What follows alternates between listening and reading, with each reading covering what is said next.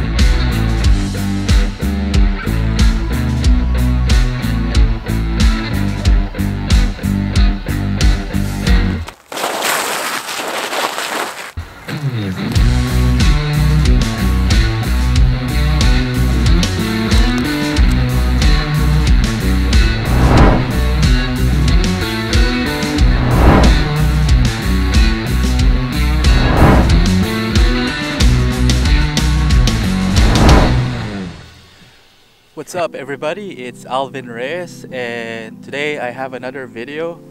Um, so I'm taking you here sa Frozen River. Uh, I haven't really seen yung Frozen River up close like this. Uh, so para dun sa mga So para dun sa Tanggalin ko na nga to. So for those people na ngayon lang nag-view ng ng channel ko, uh, I'm an aspiring vlogger and filmmaker. And recently I got a 50mm lens. Sinatry ko lang siya talaga ngayon. Uh, and see kung makakagawa ako ng B-roll na film-like ang itsura. So, yun yung target ko today. Yeah, so I just want to share it to you guys. So, yung pa-experience yung yellow is one of my dream, to be honest. Ngayong nandito na ako sa tabi ng frozen river, yung malamig talaga, naka-gloves ka, naka-hoodie, tatlong layer. Wala. Pag na-reach mo na yung dream mo, i-take mo na siya for granted eh. Pero nung, nung nasa Pilipinas pa ako, parang sabi ko, di, kailangan makasakay ako ng eroplano, kailangan makapunta ako dito. And ma-experience ko to. And after that, pwede na ako mamatay, sabi ko. Not really. Gusto ko pa mabuhay after ko ma-experience to. Alright.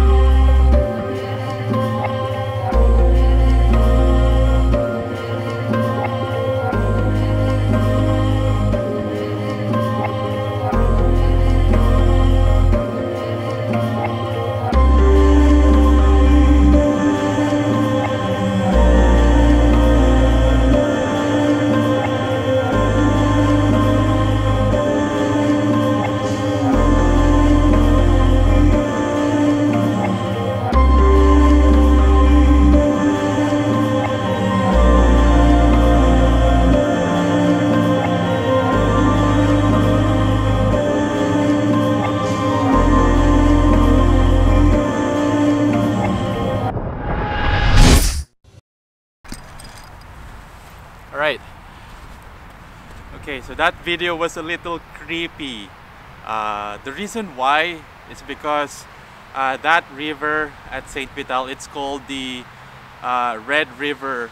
Is meron siyang history like back in the 1920s. I just saw it on Google uh, that there was an incident where na nag burn down yung uh, parang house for horses and then all the horses had to run away from it and they tried to cross the river but it was like the, the ice was very thin that time. So nahulog sila lahat. And I saw this photo uh, on Google and it was creepy. Sabi ko I'll, I'll make a, a creepy cinematic sequence there. It's really cold out here. Um, yeah so um, I'll jump right into it really fast. Yeah,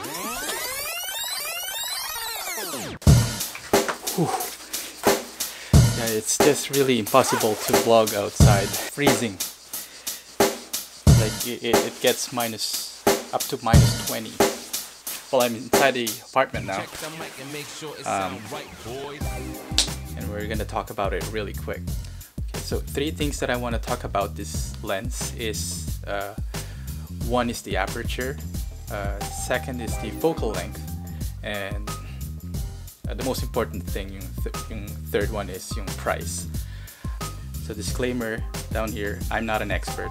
So this would all be my point of view as a beginner about dun sa lens. So number one is aperture.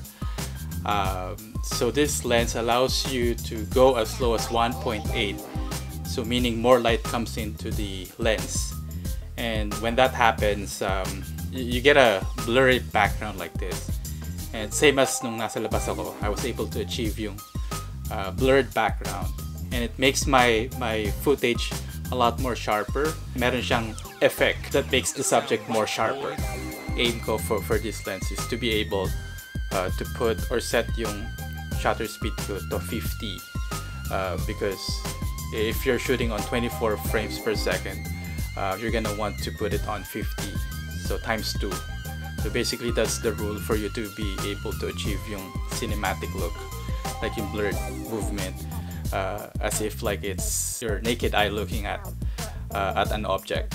I almost forgot to mention when you're putting the aperture really low, uh, as low as 1.8, so more light comes in, right?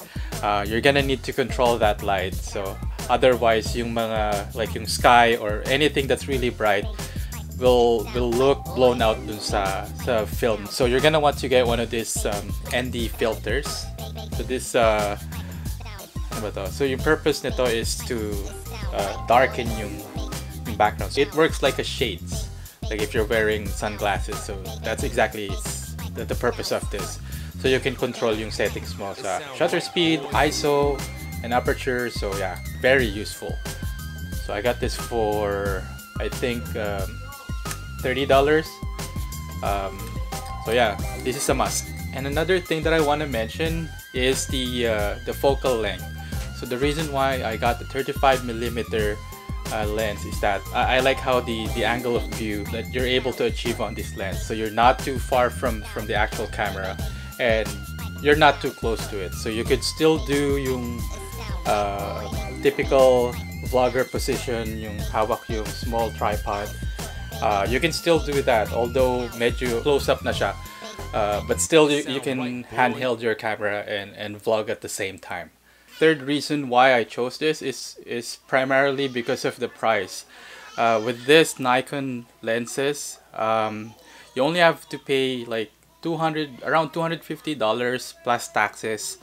I mean, for 250 dollars, you don't have to upgrade your camera uh, because ang, what I'm currently using is one of those Nikon uh, D3200 yeah, so yeah, D3200 is what I'm currently using and it's an entry level camera. I didn't need to switch to uh, a mirrorless camera or anything fancy just to achieve yung cinematic looks. Uh, so this lens made it possible. One of the downside of this, it doesn't have vibration reduction features. So shaky yung shaky yung mga footage ko, you would have to hold yung camera really still or you would have to put it on a tripod para steady siya. That's the only downside of it. Um, the rest, I think, okay for the price. I'm not really sure if you're satisfied about earlier videos ko, if it's cinematic enough for you. Pero sa akin, I think, uh, based from sa editing ko, I, I think it looks good. Uh, so you be you'd be the judge. So uh, comment down below. I'd really appreciate that, and tell me how how you find it. If it's okay, or like anong level na ba ako? Pro level na ba siya or beginner? Uh, I'd like to hear from you sa mga viewers ko. Okay, so obviously I still need some practicing uh, sa storytelling ko and I'm getting better. Um, I, I think I'm getting better now. Alright, so thank you guys for watching. Uh, I hope you liked the video. Um, and if you haven't subscribed to my channel, please do so. Click the button there below. Um, and I'll see you on my next video. Peace out.